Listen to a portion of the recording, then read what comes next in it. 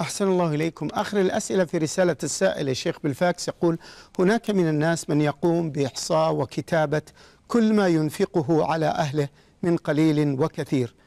حتى ينظر في نهاية الشهر ماذا أنفق في مثل هذا العمل؟ هل يكون هذا العمل سببا لمحق البركة؟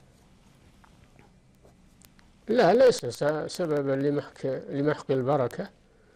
ولا مانع أنه يكتب ما ينفقه على بيته لأجل أن يعرف مقدار المال الذي أنفقه ونقص من ماله لئلا يظن أنه ضاع أو أنه سرق أو ما أشبه ذلك. هذا من باب الاحتياط والحفظ. وأيضا إذا كان القصد أيضا منه عدم الإسراف فإنه فإن هذا عمل طيب.